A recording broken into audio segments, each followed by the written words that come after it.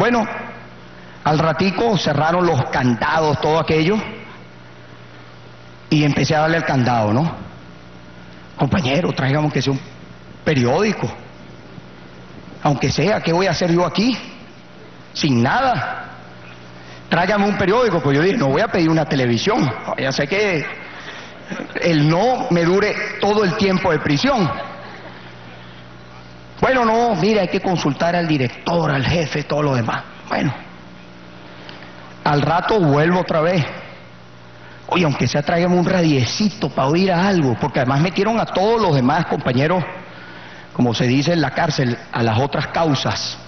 Los metieron a todos en sus calabozos.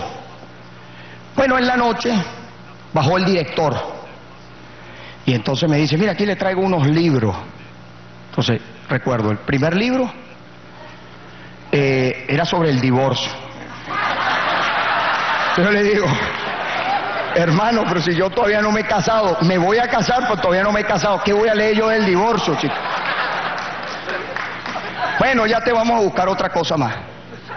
Y me trajeron una revista de mecánica, de esa mecánica popular, creo que se llamaba, ¿no? Una revista de esa mecánica. Yo, a mí no me gusta ni la mecánica, ni los carros, ni ando pendiente de eso. Bueno, ahí empecé a darle, porque eso era lo que había. Al día siguiente empezó uno, porque todo preso empieza a tejer redes. Esa es la realidad de las cárceles nuestras. Entonces uno empieza a averiguar quién es el que trae el periódico. Fulano tal. Ah, ok. ¿Quién es el que consigue la empanada afuera? Fulano tal. Ok. Para hacerles el cuento largo, corto, porque fue largo, llegó un día que llegó el televisor. Y llegaron los libros además. Y llegaron, sí. Perdóneme. Perdóneme. Yo sé caminar, méteme en la calle, yo no soy de hablar en teatro. Y bueno, el domingo nos vemos en la Avenida Bolívar. Pero bueno, para hacer el punto largo, corto, Padrón lo sabe, todas las noches llegó el televisor con mis compañeros de la cárcel. Todas las noches nuestra alegría era cosita rica.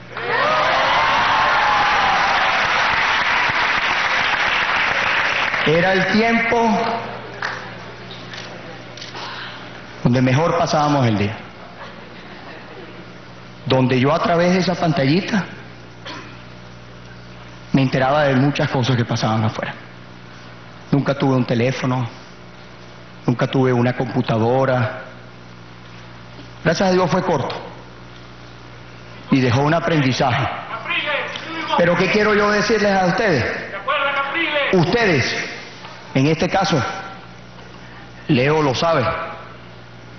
Yo salí de la cárcel y bueno, yo creo que lo primero que quería ver era Fabiola Colmenar. y Fabiola la quiero mucho y le he echado este cuento a Fabiola.